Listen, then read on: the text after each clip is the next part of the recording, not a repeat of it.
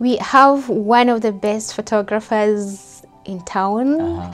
and that is Tony Chirah. The reason I'm excited is because I wish you guys can watch him. He's the guy The guy behind behind our cameras, and make sure you you if you happen to pass by our pictures, like go to his page. What is page, Tony?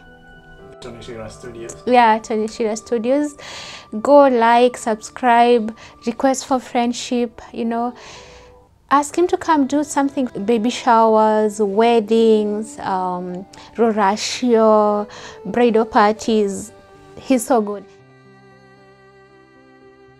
for the pictures that we used on the pre-wedding uh, flyers Yeah. and everybody was like who did this who did this Uh, yeah Also, to add on that, one thing we love about Tony Mm. is he personally uh, wanted to be part of it. yeah So he went an extra mile to offer uh, us that assurance Mm-hmm. Yeah. Mm-hmm. that it's gonna be beautiful and uh, yeah, I'm part of it. And I said, oh, thank you, God, and may God bless you, Tony, for that.